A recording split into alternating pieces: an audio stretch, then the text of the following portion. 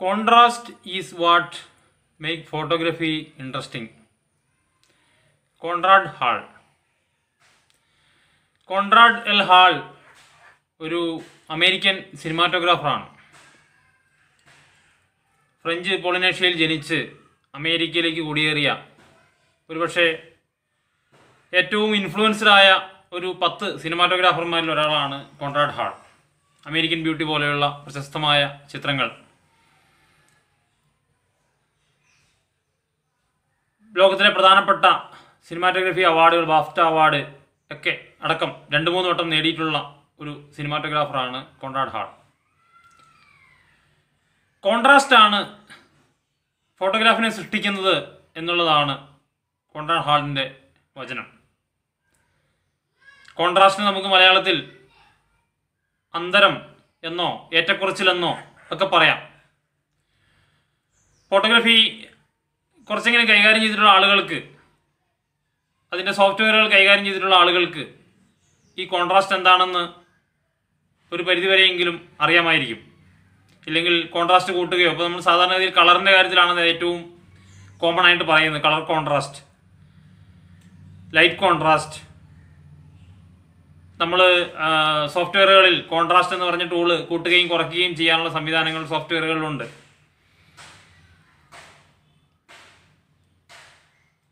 ഫോട്ടോഗ്രാഫിയുടെ പ്രധാനപ്പെട്ട ഒരു സംഗതികളിൽ ഒന്നാണ് കോൺട്രാസ്റ്റ് എന്ന് പറയുന്നത്. അത് പല രീതിയിലാവാം. കളർ കോൺട്രാസ്റ്റ് ആവാം ലൈറ്റ് കോൺട്രാസ്റ്റ് ആവാം ഫോക്കസിലുള്ള കോൺട്രാസ്റ്റ് ആവാം. ഇങ്ങനെ പല രീതിയിലുള്ള കോൺട്രാസ്റ്റുകൾ ചേർന്നിട്ടാണ് ഒരു ഫോട്ടോഗ്രാഫ് സൃഷ്ടിക്കപ്പെടുന്നത് എന്ന് പറയാം. ഇപ്പം ബ്ലാക്ക് ആൻഡ് വൈറ്റ് ഫോട്ടോഗ്രാഫിയുടെ ഏറ്റവും പ്രധാനപ്പെട്ട ആകർഷണങ്ങളിൽ ഒന്ന് തന്നെ അതിലെ ബ്ലാക്കും വൈറ്റും തമ്മിലുള്ള കോൺട്രാസ്റ്റാണ് കളർ ഫോട്ടോഗ്രഫിയിൽ വിവിധ കളറുകൾ തമ്മിൽ അല്ലെങ്കിൽ വിവിധ ടോണുകൾ തമ്മിൽ ഫ്രെയിമിനകത്ത് കോൺട്രാസ്റ്റായി പ്രവർത്തിക്കുന്നു. ഒരുപക്ഷെ കോൺട്രാസ്റ്റ് ഏറ്റവും നന്നായി വരുന്നത് ലൈറ്റിന്റെ കാര്യത്തിലാവാം. ലൈറ്റും ഷെയ്ഡും തമ്മിലുള്ള കോൺട്രാസ്റ്റ് ലൈറ്റിന്റെ തന്നെ പലതരം വേരിയേഷൻസിലുള്ള കോൺട്രാസ്റ്റ് ഷെയ്ഡിന്റെ പലതരം വേരിയേഷൻസിലുള്ള കോൺട്രാസ്റ്റ് ഒക്കെ ഒരു ഫോട്ടോഗ്രാഫിനെ കൂടുതൽ ഇൻട്രസ്റ്റിംഗ് ആക്കി മാറ്റാറുണ്ട്. നമ്മളിപ്പം ലൈറ്റ് ഷെയ്ഡ് എന്നൊക്കെ പറയുമ്പോൾ അത് രണ്ടറ്റങ്ങളായിട്ടാണ് പൊതുവെ പരിഗണിക്കപ്പെടുക. പക്ഷേ ലൈറ്റിന്റെയും ഷെയ്ഡിന്റെയും കാര്യത്തിൽ ഇത് രണ്ടറ്റങ്ങളല്ല. മറിച്ച് ഷെയ്ഡിന്റെ തന്നെ പലതരം വേരിയേഷൻസ് ഉണ്ട്. പലപ്പോഴും പലരും ശ്രദ്ധിക്കാത്ത ഒരു ഏരിയ ആണത് ഷെയ്ഡിന്റെ പലതരം വേരിയേഷൻസ് ഉണ്ട്. അതുപോലെ ലൈറ്റിന്റെ തന്നെ പലതരം വേരിയേഷൻസ് ഉണ്ട്. ഈ വേരിയേഷൻസ് തമ്മിൽ ഉള്ള അന്തരമാണ് പലപ്പോഴും ഒരു ഫോട്ടോഗ്രാഫിനെ കൂടുതൽ മീനിങ് ഫുൾ ആക്കുന്നതും കൂടുതൽ ആഴമുള്ളതാക്കുന്നതും ഒക്കെ. അപ്പോൾ നമ്മൾ ലൈറ്റ് ആൻഡ് ഷെയ്ഡ് എന്ന് പറയുമ്പോൾ പൊതുവെ ആളുകൾ ഈ ഇതിന്റെ അന്തരത്തെക്കുറിച്ച് പൊതുവെ ചിന്തിക്കാറില്ല. ലൈറ്റിനെയും ഷെയ്ഡിനെയും രണ്ട് തട്ടുകളായി കാണുകയും ലൈറ്റും ഷെയ്ഡും ഉണ്ടെങ്കിൽ ഫോട്ടോഗ്രാഫായി എന്ന് പൊതുവെ കരുതുകയും ചെയ്യാറുണ്ട്. അപ്പം ലൈറ്റിന്റെ പലതരം കോൺട്രാസ്റ്റുകൾ അതിന്റെ ഒരു ആദ്യത്തെ തലം ഒരു മീഡിയം എന്ന നിലയ്ക്ക് ഫോട്ടോഗ്രാഫറുടെ ഒരു മീഡിയം എന്ന നിലയ്ക്ക് ലൈറ്റാണ് ഏറ്റവും ഇമ്പോർട്ടന്റ് ആയ സംഗതികളിലൊന്ന്. കളറിലേക്ക് വന്നു കഴിഞ്ഞാൽ കളർ പല രീതിയിൽ കോൺട്രാസ്റ്റിയായി പ്രവർത്തിക്കുന്നു. ഇപ്പോൾ പൊതുവെ ആളുകൾക്ക് ധാരണ പലർക്കും അറിയുന്ന കാര്യങ്ങളാവും. ചുവപ്പും ബ്ലാക്കും തമ്മിൽ പച്ചയും ചുവപ്പും തമ്മിൽ. ബ്ലാക്കും വൈറ്റും തമ്മിൽ. റെഡും ബ്ലൂവും തമ്മിൽ അല്ലെങ്കിൽ ഗ്രീനും തമ്മിൽ. ഇങ്ങനെ നമുക്ക് പ്രാഥമികമായ കളറുകൾ പ്രത്യേകിച്ചും അല്ലെങ്കിൽ കളറിന്റെയും നമ്മൾ ലൈറ്റിന്റെ കാര്യത്തിൽ പറഞ്ഞ പോലെ കളറിന്റെയും പലതരം വേരിയേഷൻസ് ഇപ്പം പച്ചയുടെ തന്നെ പലതരം വേരിയേഷൻസ് നമ്മൾ ഇലകളെ കുറിച്ചൊക്കെ പറയുമ്പോൾ പറയാറുണ്ട്. ഇലപ്പച്ച എന്നൊക്കെ നമ്മൾ പറയാറുണ്ടെങ്കിലും നമുക്കറിയാം ഒരു മരത്തിലേക്ക് നോക്കിയാൽ തന്നെ കോൺട്രാസ്റ്റി ആയിട്ടുള്ള നിരവധി പച്ചകൾ നമുക്ക് കാണാൻ കഴിയും. ഒരു കാട്ടിലേക്ക് നോക്കിക്കഴിഞ്ഞാൽ ഓരോ മരത്തിന്റെയും ഇലയ്ക്ക് അത് ചിലപ്പോൾ പച്ച മാത്രമായിരിക്കണമെന്നില്ല. പച്ചയുടെയും ചുവപ്പിന്റെയും ഒക്കെ പലതരം വേരിയേഷൻസ് നമുക്ക് ഓരോ മരത്തിന്റെയും ഇലകളിൽ കാണാൻ കഴിയും. അപ്പോൾ കാടൊക്കെ ഇത്ര മനോഹരമായിരിക്കുന്നതിന്റെ പ്രധാനപ്പെട്ട കാരണങ്ങളിലൊന്ന് അതിലെ കളർ കോൺട്രാസ്റ്റ് ആണ്. എവിടെ നമ്മൾ ക്ലിക്ക് ചെയ്താലും മനോഹരമായ ഒരു ഇമേജ് കിട്ടുന്ന ഒരു ഇടമാണ് കാട്. ഒരു മരത്തിലെ പല ഇലകൾ എന്ന് പറഞ്ഞതുപോലെ തന്നെ വളരെ ഇമ്പോർട്ടന്റ് ആണ്. ഒരു ഇലയിൽ തന്നെ പലതരം കോൺട്രാസ്റ്റുകൾ പ്രവർത്തിക്കാറുണ്ട്. നമ്മൾ ഇലകളുടെയൊക്കെ ടെക്സ്ചർ എന്നുള്ള രീതിയിൽ ഒരു ഫോട്ടോഗ്രാഫ് പകർത്തി കഴിഞ്ഞാൽ നമുക്ക് മനസ്സിലാവും.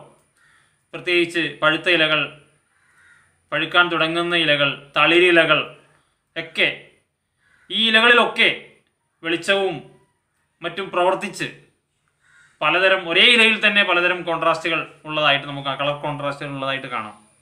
അപ്പോൾ ഈ കളർ കോൺട്രാസ്റ്റ് വേണമെങ്കിൽ ഈ കോൺട്രാസ്റ്റിന്റെ ഒരു രണ്ടാമത്തെ തലമാണ്. കളറിന്റെ തന്നെ നമുക്ക് വേണമെങ്കിൽ ടോണലായിട്ടുള്ള കോൺട്രാസ്റ്റുകളും ഒരു ഇമേജിൽ പ്രവർത്തിക്കാം. ഏതാണ്ട് സമാനമായ കളറുകൾ ഒരുപോലെ വരുന്നതിനെയാണ് നമ്മൾ ടോൺ എന്ന് പറയുക. പക്ഷേ ഫ്രെയിമിന്റെ വിവിധ ഇടങ്ങളിൽ വിവിധ ഭാഗങ്ങളിൽ ഡിഫറന്റ് ആയിട്ടുള്ള ടോണുകൾ കോൺട്രാസ്റ്റി ആയിട്ട് പ്രവർത്തിക്കാം. കളറിന്റെ കാര്യം പറഞ്ഞ പോലെ തന്നെ ടോണും ഒരേ ടോണ് തന്നെ ഒരേ ഒന്ന് ഒന്ന് നമ്മൾ പറയുമ്പോൾ തന്നെ അതിന്റെ തന്നെ വേരിയേഷൻസ് കോൺട്രാസ്റ്റി ആയിട്ട് പ്രവർത്തിക്കാം.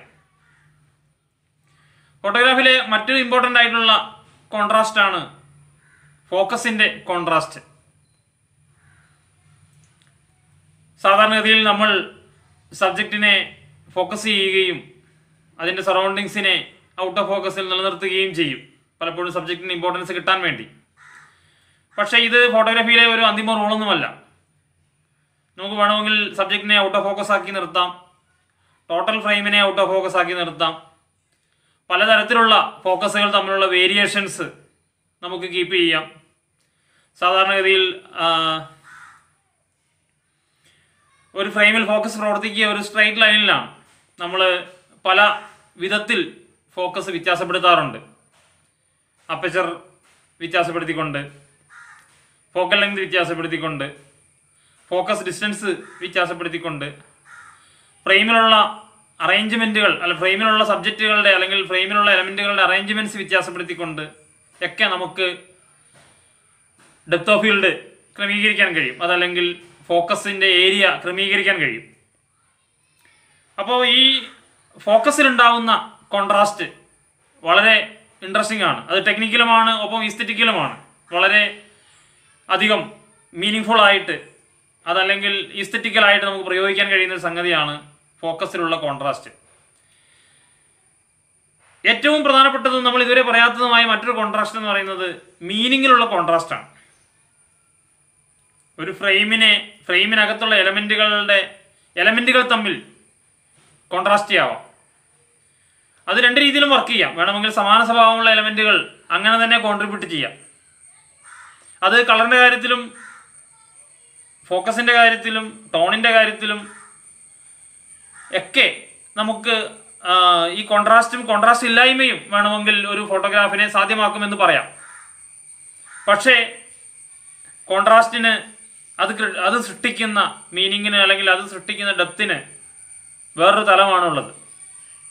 അപ്പോൾ ഡിഫറെന്റ് ആയിട്ടുള്ള കോൺട്രഡിക്റ്റ് നമ്മൾ സാധാരണഗതിയിൽ ഫോട്ടോഗ്രാഫിയിൽ അല്ലെങ്കിൽ കോമ്പോസിഷനിൽ ജക്സ്റ്റാപ്പൊസിഷൻ എന്നൊക്കെ പറയുന്ന ഒരു സംഗതിയുണ്ട്.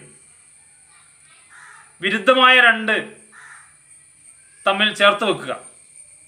പരസ്പരം ചേരാത്ത രണ്ട് സംഗതികളെ ചേർത്ത് വെക്കുക. അതുണ്ടാക്കുന്ന മൂന്നാമതൊരു മീനിങ് ഉണ്ട്.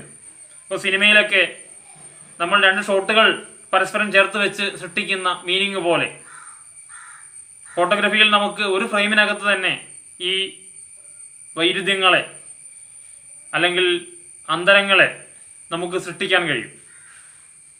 അപ്പം ഈ വിധത്തിലൊക്കെ അതായത്